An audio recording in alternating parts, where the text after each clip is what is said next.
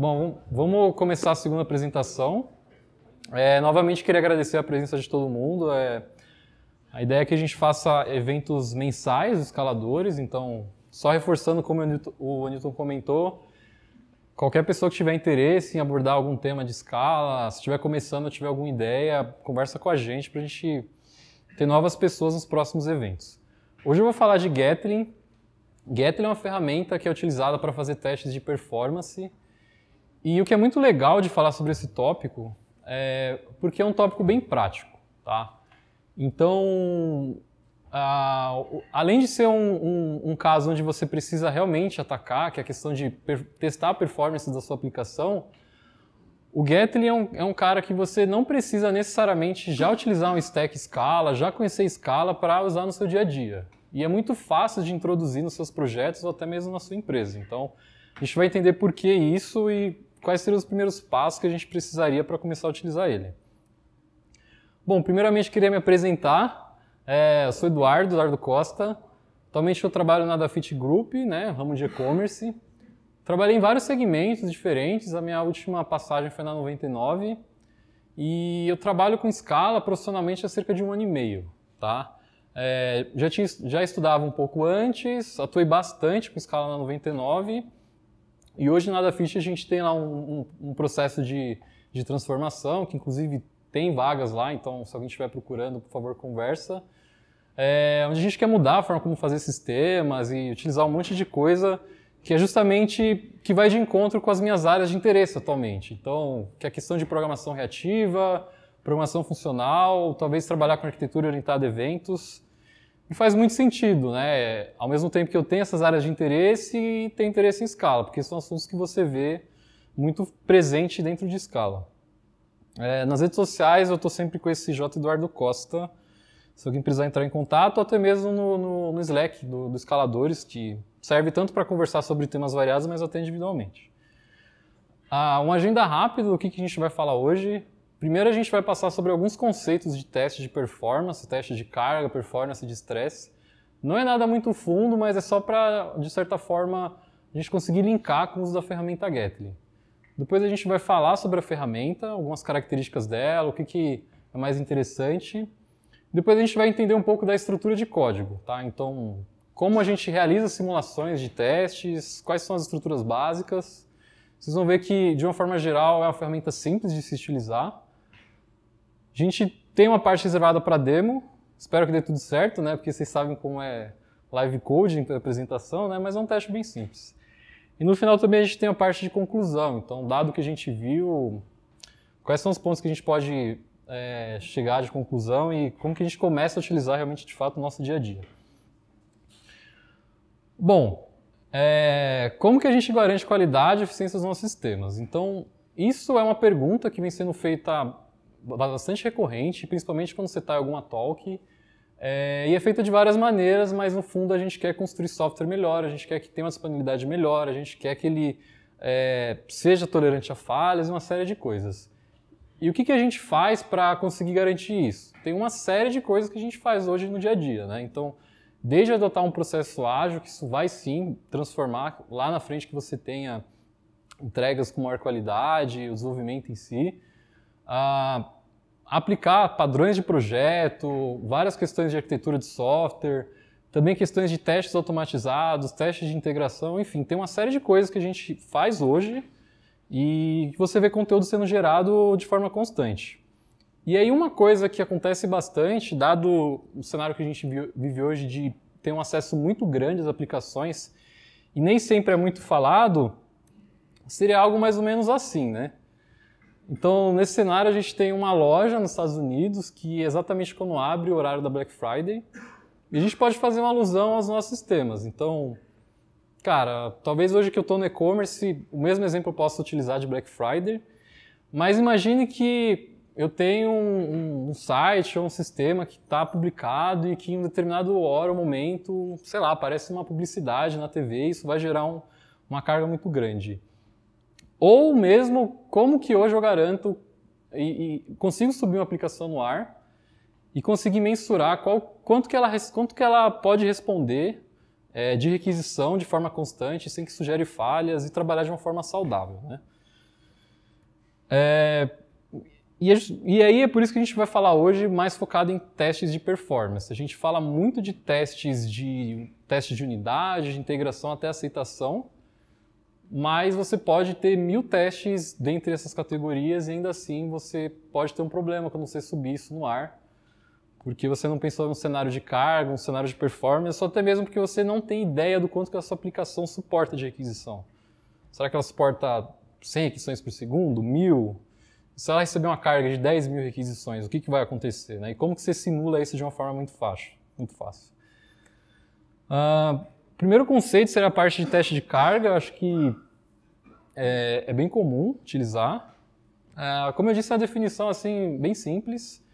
E normalmente a gente quer verificar como que o nosso sistema ele se comporta dado uma variação de carga ou número de usuários assim ou de requisições. A gente extrai algumas métricas em relação a isso, né, de tempo de resposta, a média de tempo, a taxa de erro, mas mais ou menos imagine que você comece esse cenário de teste com um número de requisições constante, então imaginar um cenário de 100 requisições constantes por segundo, e aí você recebe uma carga de mil requisições por segundo durante minutos ou até horas. Então, é... e depois isso volta ao normal. Então, o número de acessos vai voltar ao normal. Então, você precisa verificar dentro desse período que teve uma carga maior como que sua aplicação vai suportar. A segunda parte, a segunda parte de teste de performance é um teste mais geral, mais para verificar a performance da sua aplicação e você conseguir medir uma série de métricas. Então, ao invés de eu testar oscilações de requisições, cargas especificamente, na verdade eu posso fazer uma série de testes diferentes para conseguir medir, por exemplo, ah, a primeira bateria de testes eu faço com 100 requisições por segundo constante. Depois eu faço com 200, 300. Eu posso aumentar isso gradativamente e depois eu tenho resultados dos testes de forma separada, eu consigo avaliar individualmente e talvez verificar é, como que a minha aplicação começa a, a talvez deteriorar a partir de um, de um, de um número que eu, que eu alcance. Né? Então, às vezes, ela começa a deteriorar em relação a recurso computacional ou tempo de resposta, enfim, você vai conseguir medir isso fazendo esse tipo de teste. O terceiro cenário, teste de estresse, é mais focar num cenário extremo mesmo. Então, legal que no o teste de performance, normalmente eu estou tentando reproduzir um cenário que eu espero, tá, constante, ou até um pouco acima do que eu imagino que seja, para que eu consiga estar confortável com a minha aplicação rodando aí no servidor e tudo mais. No estresse, é um caso assim é, de teste muito maior de carga. Então, se antes eu estava testando de 100, 200, até 500 requisições por segundo, como que eu quero chegar no máximo do meu sistema? Eu quero chegar ao ponto que ele vai cair, ou próximo disso. E não é um problema você chegar nesse cenário que ele vai cair. É, então, ao invés de eu testar 500, eu posso testar cenários com 5 mil usuários concorrentes, 50 mil usuários concorrentes. Talvez se eu descobrir que a minha aplicação vai começar a deteriorar a partir de 20 mil requisições simultâneas, talvez não seja um problema. Porque dado o cenário que eu tenho, é, dado estudo de mercado e tudo mais, isso não vai acontecer. Mas acho que é importante você ter essa ciência, você saber que a sua aplicação suporta até um determinado número e que isso você esteja confortável com isso, não simplesmente você faça alguns testes mais simples e se vir acontecer esse caso de uma demanda muito extrema, você não estar preparado para isso. Bom, dado passado esses conceitos rápidos, a gente vai falar sobre o Gatling, tá? O Gatling é uma ferramenta para você realizar testes de estresse, mas não somente de estresse, mas também na parte de carga e de performance também. É um projeto que já tem mais de cinco anos, tá? Então ele começou em 2012 e ele é feito em escala. E uma coisa legal desse projeto é que ele é muito utilizado em outras comunidades, outras stacks que normalmente não tem escala. Então, eu já vi muito ser utilizado em contextos onde você só tinha sistemas em Java, e as pessoas precisavam de uma ferramenta para testar isso, nunca tinham utilizado escala, é, e aí de Java para Scala conseguiram utilizar normalmente.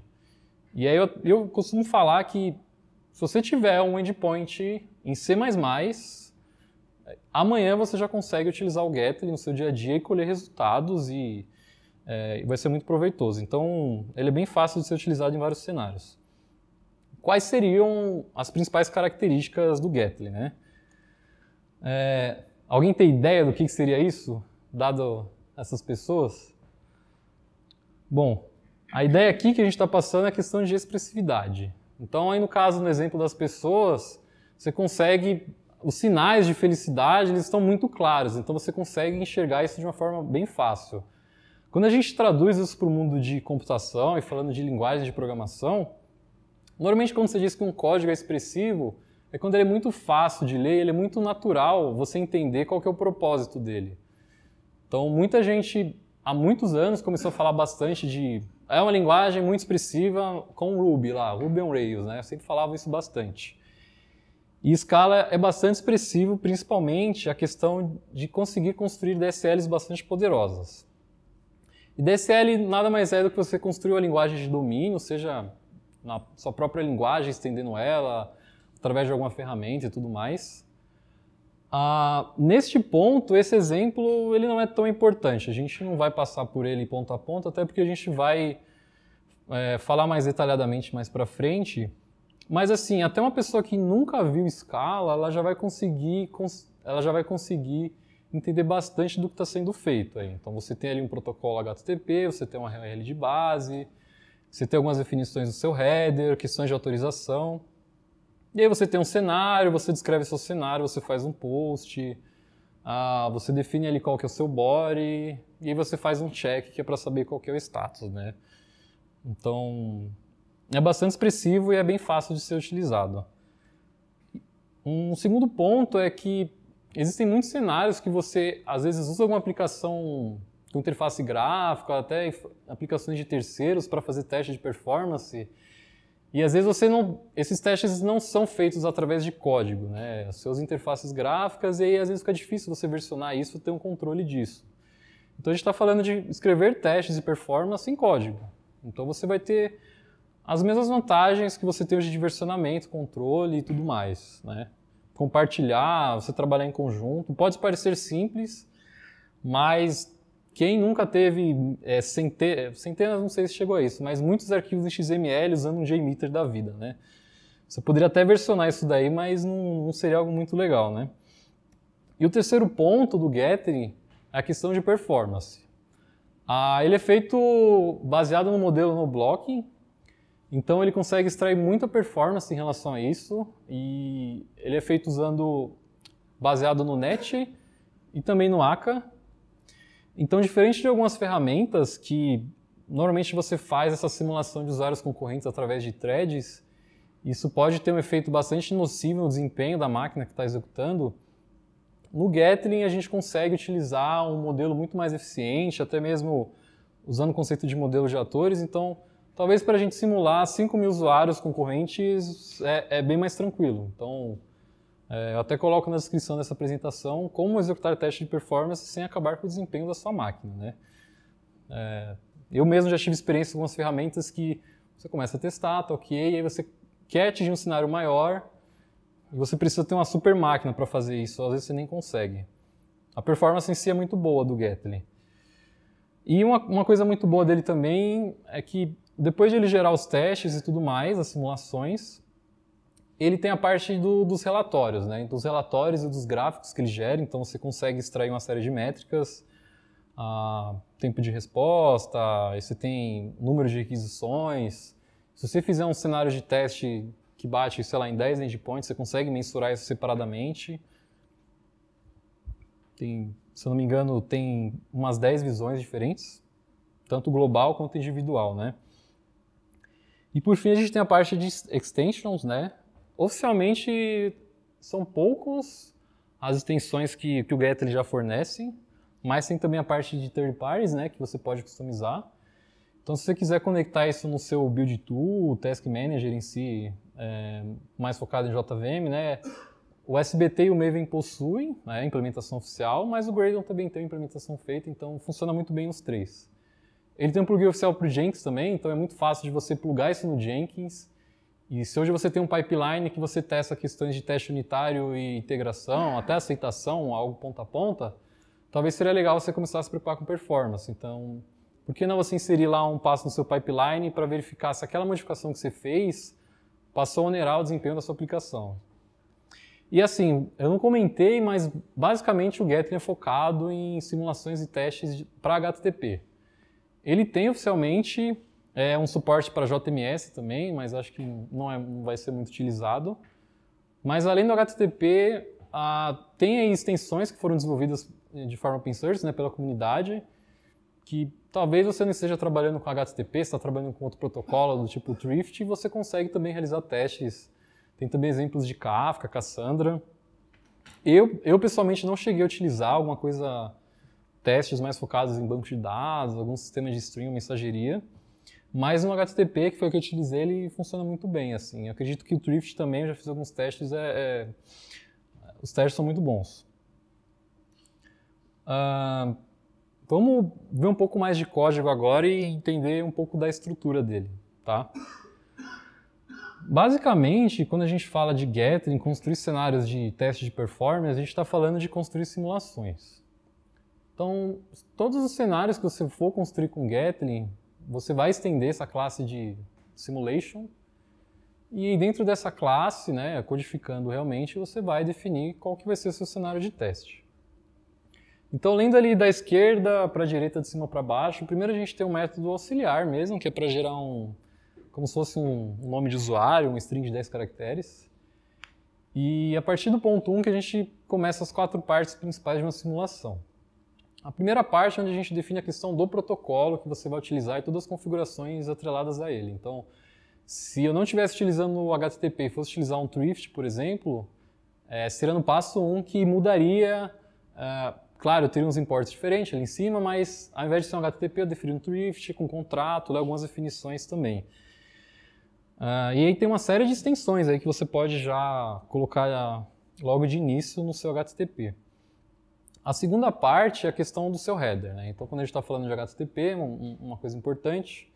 E nesse cenário eu tenho só algumas atribuições simples de header, como qual é o content type que eu vou utilizar. Também a questão de autenticação. Né? Então, como eu estou escrevendo um teste, com código, é muito mais fácil de, por exemplo, ah, eu preciso bater uma API, hoje eu tenho autenticação por alfa, eu preciso gerar um token e tudo mais. É muito mais fácil fazer isso com código mesmo. Então, eu posso subir uma estrutura toda e antes de fazer lá os meus cenários, eu pego qual que é o token que eu vou utilizar e jogo para frente. Então, é muito mais fácil fazer isso via código do que às vezes você usar alguma ferramenta, alguma coisa nesse sentido, que vai ser um pouco mais trabalhoso. Ali para o lado direito, a gente só tem uma definição de JSON, que está em string diretamente, mas você pode trabalhar com upload de arquivos, bytes, enfim. Tudo que você imaginar que você faria é, integração por HTTP ou outro protocolo, você consegue fazer também. E aí a terceira parte é o seu cenário, seu cenário de teste. O cenário de teste, ele na verdade, ele é uma, uma série de execuções que você pode fazer. Então, nesse cenário, um cenário de criação de usuário, tá? Então, vou dar um post ali no, no recurso users, coloco as minhas definições do meu header, qual que é o meu body, e eu também já, neste momento, eu faço um check ali para saber qual que é o status code de retorno. Poderia fazer uma série de verificações, poderia abrir o retorno dele, aplicar um, uma expressão regular para ver se o JSON de retorno estivesse correto. E assim, apesar de o objetivo no teste de performance não seja você garantir que o status code está certo, ah, o retorno do JSON está correto, que provavelmente você vai fazer isso no seu teste de integração, aceitação, uma coisa assim, mas é importante você ter essa verificação também, porque às vezes você vai chegar a um cenário de você executou todos os seus testes, chegou a um, uma conclusão, mas na verdade o retorno da sua requisição estava inválido. Então, pelo menos algumas checagens mais básicas é interessante fazer. E nesse exemplo eu tenho uma execução. Mas eu poderia concatenar uma série de execuções, eu poderia ter um cenário de executar 50 passos em sequência. Então, saindo um pouco da ideia de testar somente serviços HTTP, é, como se fossem APIs, eu poderia simular a navegação de um usuário. Tá? Então, algo que você faz normalmente com Selenium, alguma coisa assim. Então, se eu tenho um site lá, eu poderia, para cada execução, ser uma ação do usuário. Então, eu, eu clico em um determinado cenário, eu posso falar para ele esperar um pouco, depois clica um segundo e assim sucessivamente. Ou mesmo através de uma API, se você quiser testar uns cinco recursos em sequência, você consegue fazer isso. A última parte ali, quando você vai fazer o setup, é onde, dado um cenário e qual que é o protocolo que você vai utilizar, você injeta o comportamento. Então, nesse cenário, é o cenário mais simples, onde você está injetando um único usuário virtual, né, fazendo essa simulação. Você não está fazendo nenhuma estratégia de aumentar esse número de usuários ou de ser algo constante, é o mais simples possível, você só quer fazer um único teste. No, é, essa estrutura básica é o que define assim grande parte da biblioteca. Então, o que você vai ver é muitas especializações de definições de, do protocolo, definições do seu cenário, mas no geral são essas quatro partes que você vai trabalhar e normalmente a gente vê o pessoal utilizando HTTP, então é muito próximo desse cenário. Seguindo ali no item 4, que a gente falou de injetar comportamentos, é possível injetar uma série de comportamentos é, utilizando o Gatling. E aí, e aí é mais um ponto onde a gente vê como a, a, questão da expressividade, a questão de ter uma DCL bem feita, ela traz de positivo para o seu código. Então, cara, uma pessoa que nem sabe o que é programação, ela consegue interpretar algumas questões desse teste, né? É, acho que mérito disso também é a questão da biblioteca de, de time, duration do Scala, que é muito boa, né? Mas o que, que a gente tem ali de cenários que a gente pode injetar? Eu posso, como eu comentei, eu, dado lá uma sequência de execuções, que é o meu cenário, né? Eu posso executar um comportamento ou vários. Então, nesse cenário, ele vai executar, ele vai executar todos estes. E eu posso executar um, depois fazer uma pausa, que é o primeiro exemplo do nothing for, né? E eu posso ter usuários constantes, eu posso fazer uma carga, que é essa parte do ramp, então, por exemplo, eu posso fazer um ramp de 10 é, usuários durante 5 segundos, enfim, tem uma série de estratégias que, que podem ser feitas, né? É... O que mais? A gente tem também algumas definições de throttle, então às vezes você faz um cenário, mas você quer atingir um, um número máximo de requisições, tá? Então você quer subir 100 usuários, mas se aquilo for consumir muito da sua aplicação, não é um cenário é interessante para você. Então é possível fazer isso também, tem uma série de combinações que você injeta no seu comportamento. Ah, normalmente, quando você quer comparar testes, é interessante que você compare, às vezes, por exemplo, aquele teste de performance, que é algo contínuo, você faça comparações dentro de um mesmo tempo. Né? Então, eu vou executar cinco testes diferentes, todos dentro de 10 minutos, ou um minuto que seja, porque eu consigo colher melhores resultados e comparar. Então, tem essa função do max duration. Então, se eu subir mil, mil usuários, é, sei lá, milhares de usuários, e se em 10 minutos não acabou de fazer esses testes, ele vai encerrar o teste do jeito que for. E pode ser que ele não gerou o máximo de, de requisições que você esperava e aí você vai analisar isso. Tem algumas estruturas já prontas de condicional e repetição que assim, você está fazendo código, você poderia você mesmo fazer suas estruturas, seja com um pattern match, um if, for each, um flat map, enfim, você pode implementar isso, mas ele já dá um pouco dessa estrutura, deixando o código até um pouco mais fácil de ler e com, é, através de funções e tudo mais, então Dependendo do cenário, é interessante usar também. E eu comentei anteriormente que a gente tinha aquela parte de assertions é, por execução. Então eu tenho um cenário, tenho 10 execuções, para cada execução eu quero garantir pelo menos que o estado seja 200. Para saber se faz algum sentido esse teste que eu estou fazendo. Mas aí o, provavelmente você quer executar esse teste e no fim olhar quais são os seus resultados da simulação completa, né? os cenários é, qual que é o global ali. Então a gente tem cinco categorias que são todas as aquisições, as aquisições com sucesso, as com falhas, aquisições por segundo, tempo de resposta.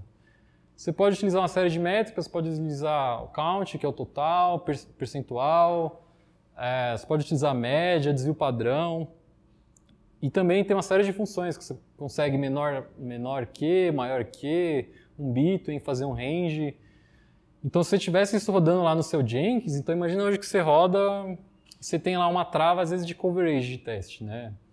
Se tiver menos de 80%, 90%, vai falhar e alguém vai ter que mexer nisso. Eu posso ter um teste que, se eu for bem crítico, né, que for um teste que, eu, que a carga não seja tão grande, eu posso verificar ali nas requisições falhas se eu tiver um, algo diferente de zero, ou seja, alguma coisa falhou, para na hora o fluxo de pipeline, porque a gente está começando a degradar a nossa aplicação. Então, você consegue colocar asserções de nível global aí para vários cenários. E ele tem também uma questão de arquivo de configuração, que é onde você define uma série de coisas, né? Então, onde você vai gerar seus relatórios, como ele vai gerar, as métricas. É... Ele é autoexplicativo, né? Ele normalmente tem essa estrutura de já vem os comentários e, e tudo que você precisar de mudar assim, você consegue fazer através dele, né?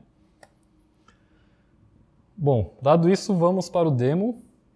A ideia do demo é produzir algo meio que do zero, mas também simples, com código gerado, né, porque a gente não tem muito tempo.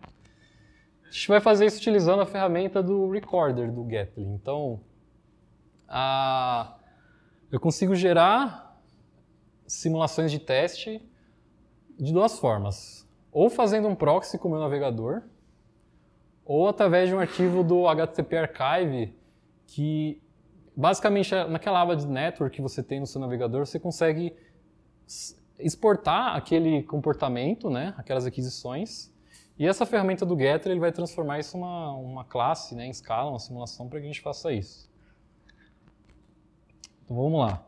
Para isso eu vou utilizar um site aqui que eu achei na internet que eles põem um, uma API funcional, tá? Ele diz que, sei lá, você pode utilizar isso para cenários de front-end. E eu fiquei até meio preocupado porque eu fiz alguns testes nesse site e ele caiu duas vezes ontem. Então. Eu fiquei pensando, vou ter que achar outro site, meu.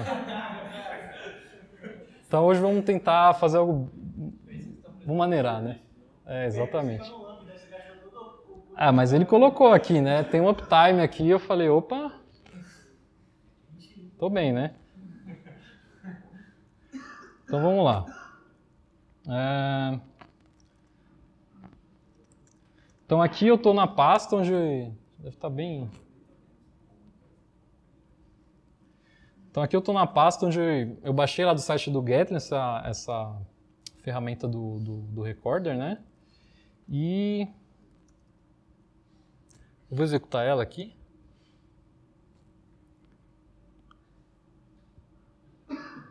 Beleza. Até parece que agora a gente voltou a usar JMeter, né? Mas mas é só parte do recorder mesmo. Então, a... está meio ruim de ler, mas aqui em cima eu tenho os dois modos que eu comentei, que é o proxy ou você importar um arquivo. E aqui você, você consegue definir de onde você vai pegar o arquivo, que vai ser o nosso exemplo. Você consegue ignorar algumas coisas, ele já tem um modo de ignorar arquivo estático, não, quero incluir questões de, de JavaScript, imagem e tudo mais, onde ele vai gerar simulações também. Então o que a gente vai fazer? A gente vai vir aqui no, nesse site, é, vou inspecionar aqui, né? As ações que eu vou fazer. Então, o que a gente vai fazer aqui? Vamos pegar algumas, alguns recursos meio que aleatórios, né? Então, por exemplo, eu vou dar um, um get nesse list users, depois eu vou dar um single users, depois eu quero dar um create, registrar, um outro registrar. Esse já retornou uma falha, isso pode ser que a gente vai conseguir ver isso no nosso resultado. E por fim a gente tem aqui um caso de um delayed, né? então é um cara que vai demorar um tempo a mais de resposta, acho que em média de 3 segundos. Né? Bom, dado isso, a gente vai vir aqui, aqui eu consigo exportar esse arquivo HTTP Archive, né? Vamos ele colocar aqui na sequência, né? Deixar tudo mais fácil. Então, nosso arquivo 003. Ah, aqui eu estou no modo para utilizar o HTTP Archive. Quero utilizar o 003. Beleza, já estou ignorando a parte de arquivos estáticos. Vou dar um Start. Ah, o que aconteceu? Bom, acho que funcionou. Ah, vamos, vamos vir aqui. Ah, então, user file, simulations, aqui é onde ele gerou o arquivo, né? Então, a gente, só confirmar que está aqui. Então, beleza. Aqui a gente tem um código, né? Então, o que eu vou fazer? Eu vou copiar esse conteúdo aqui para o meu atalho, digamos assim, né? Ah, aqui eu tenho um projeto pronto, que ele usa o plugin do SBT. Então aqui eu vou criar uma classe nova. Vou colocar aqui, né? Meetup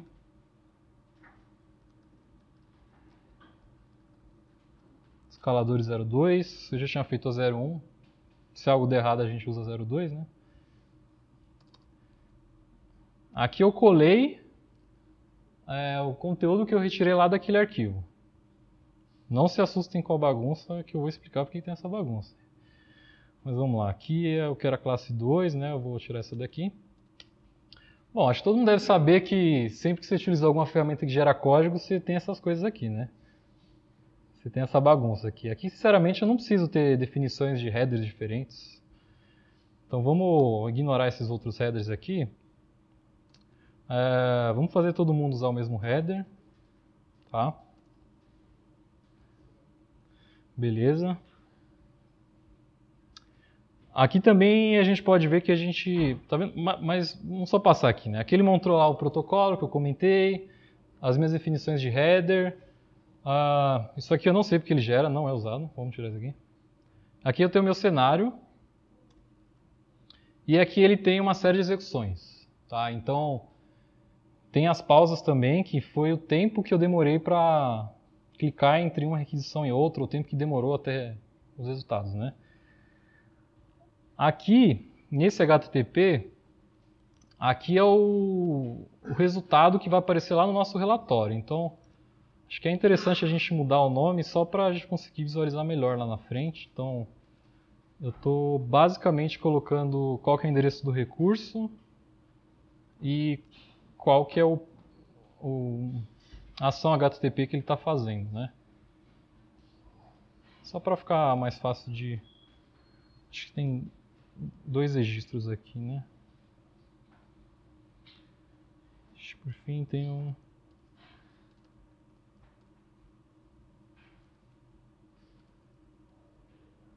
Beleza. Aqui vocês podem notar que nessa geração ele ah, ele colocou aqui, na verdade todo o post ele colocou em um, um TXT, né? Então isso tá aqui também, que ele gerou, tá no meu Boris aqui. E aí vamos fazer rapidinho, deixa eu copiar o primeiro conteúdo, que é isso daqui. Como é? Tirar essas aspas aqui fica mais fácil, a gente só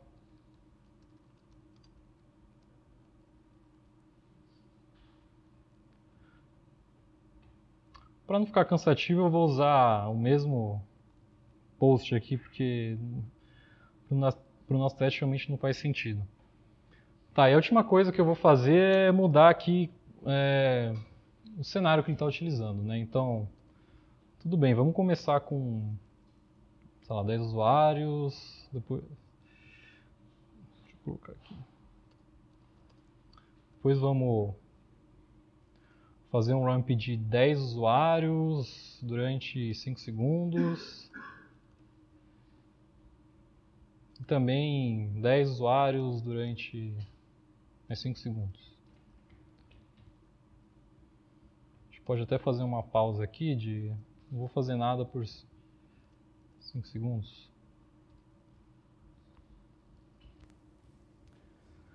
Então isso poderia ser um único comportamento, mas eu posso usar vários aqui também. A ideia é basicamente executar todas essas ações em sequência, dados esses comportamentos. Né?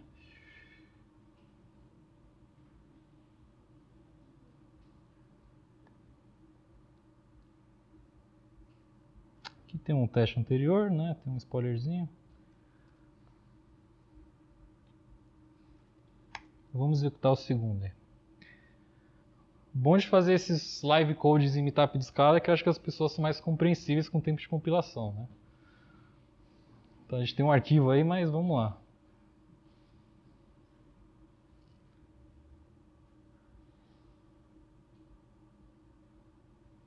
Então ele já identificou essa classe, que é a simulação 2, ele já vai iniciar os testes.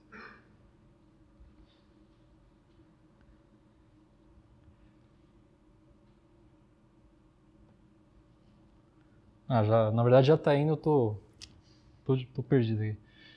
Ah, acho que eu coloquei uma estrutura de JSON errada, então acho que quebrou. Mas a cada 5 segundos ele vai gerando esse relatório, então é, quantos usuários ele está esperando executar, dado aquele comportamento, quanto está ativo, quanto já terminou. Ele vai gerando um gráfico aqui também, quais são os erros que eu estou recebendo. Acho que pelo visto todos os posts vão dar erro. E aí ele foi fazendo isso, né? Você vê que a cada 5 segundos, 35, 40. O último que ele capturou foi esse de 43 segundos. No geral, ele, ele vai me dar essa visão, dar um overview aí, então tantas requisições, quantas falhas, tempo de resposta. E aqui também ele já vai é, me dizer aonde que está o relatório que ele gerou. É. Aqui eu não fiz nenhuma customização do relatório lá no arquivo de configuração, então é, é o modelo padrão mesmo.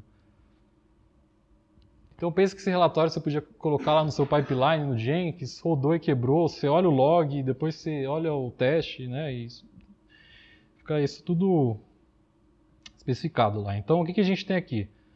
Ah, aqui tem o nome do meu teste, ele rodou em 43 segundos tudo mais. Aqui eu tenho um, um gráfico mais geral.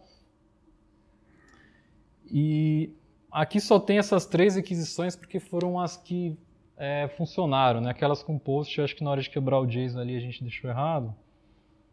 Mas aqui a gente já tem algumas estatísticas em relação a response time. É, 80% representa quanto de response time, 90%, etc. Aqui a gente tem alguns gráficos que a gente tirou nesse nosso resultado, né? Essa parte do zoom aqui, se a gente tivesse um teste executado por vários minutos, sei lá, até horas, não sei se seria o caso, você conseguiria dar um zoom em um, um, um trecho específico. E aí ele tem várias visões aqui, né? Então, parte de, de tempo, requisições, ah, o número de, de requisições, dados usuários, e aí você consegue também ter uma visão aqui mais é, individual. Então, se você tivesse uma simulação com 10 execuções, às vezes uma das 10 está gerando um gargalo maior. Então, você consegue analisar elas individualmente, não somente lá no relatório geral. Bom, mas a ideia é mais ou menos essa, né? É, tem uns plugins também que você consegue usar com Gatling para trazer mais informações nesse relatório. Né? Esse, é o, esse é o relatório básico, você consegue deixar ele mais completo. Você vai ter lá o seu console com todos os detalhes de aquisição, se deu algum erro e tudo mais. Mas é basicamente isso, né? um, um, um cenário é, de básico. Às vezes você quer testar rapidamente, acho que até vale a pena usar esse recorder ou não. Né? Depois Talvez na primeira vez, mas depois você vai se acostumar com a estrutura, acho que você vai conseguir escrever essa simulação mais fácil. Ah, Para terminar, então, com o que a gente chega de conclusão? Né? O Gatling é uma ferramenta fácil de ser utilizada. Então, o que a gente mostrou aqui é, cara, basicamente, sei lá, 80% ali do que você tem nele. Claro que você pode fazer cenários de teste bastante complexos, aí, aí vai envolver mais a sua programação, mas a ferramenta, sim, o framework é, é tranquilo de usar. Ele é fácil até mesmo para programadores inexperientes com Scala, então, cara, nunca mexi com Scala, eu achei a ferramenta boa, vou utilizar ela. Já ouvi experiências assim que o pessoal usou muito bem. Né? Se você tiver experiência, melhor ainda, porque você conseguir juntar a linguagem e construir cenários bem elaborados. E o item 3 é bastante importante, pelo menos na minha experiência profissional, acho que são poucos lugares onde a gente tinha alguns testes de performance automatizados, que faziam parte já de um fluxo de pipeline, que a gente executava eles com frequência, que eu poderia executar na minha máquina, então eu posso mudar uma linha de código, executar esse teste, já ver o resultado na hora. Então, tem várias ferramentas que fazem isso, mas não é comum você ver isso nos projetos. Você pode utilizar tanto em websites para simular navegação, APIs e até outros protocolos, como eu comentei, apesar do HTTP ser o mais comum. Referência basicamente ao site do Gatling, a documentação dele. A documentação é boa, eu achei um pouco confusa assim, tem tópicos que tem pouca informação, depois se repete em outro. Mas no geral, a informação que você precisa tem lá. E na hora de definir aqueles conceitos de performance, stress e tudo mais, eu tirei do site do Blaze Mirror que eles têm algumas soluções de teste de performance, eles trabalham com JMeter, Gatling, Selenium, eles, eles postam muito artigos de, desse, de, sobre esse tema. Né? Bom, acho que de apresentação é isso. Se alguém tiver alguma dúvida.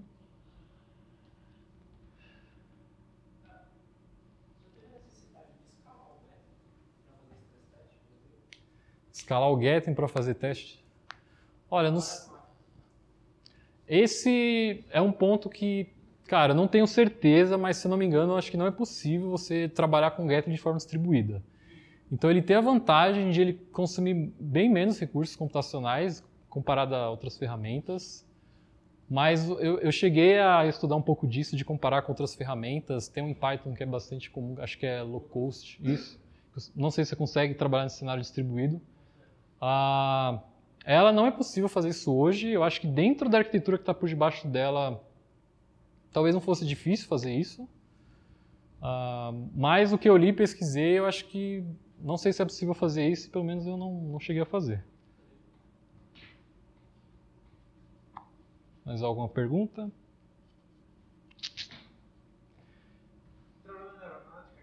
Por quê? Não, então. Na verdade, ele é. É legal, vou mostrar ali. Não, ali é um, uma viagem recente que eu fiz, que é, é um porta-avião da Segunda Guerra. É, é bem legal, assim. Sei lá, eu coloquei de curiosidade.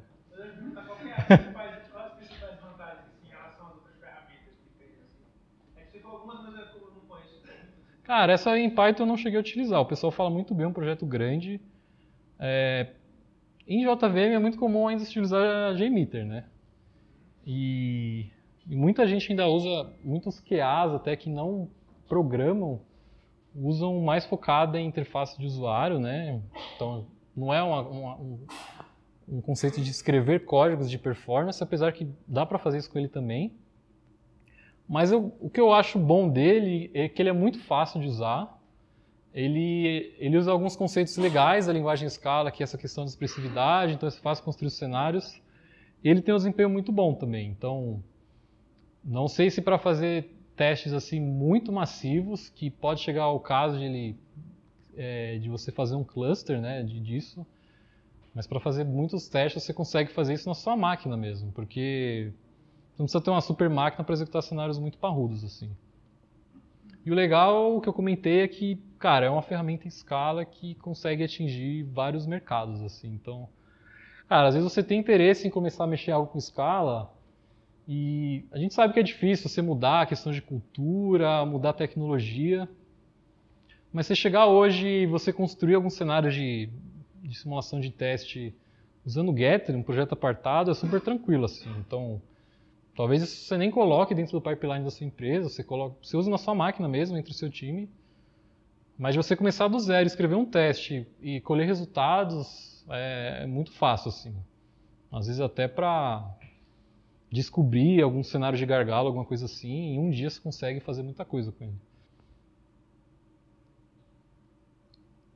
Beleza? Isso aí, pessoal. Valeu.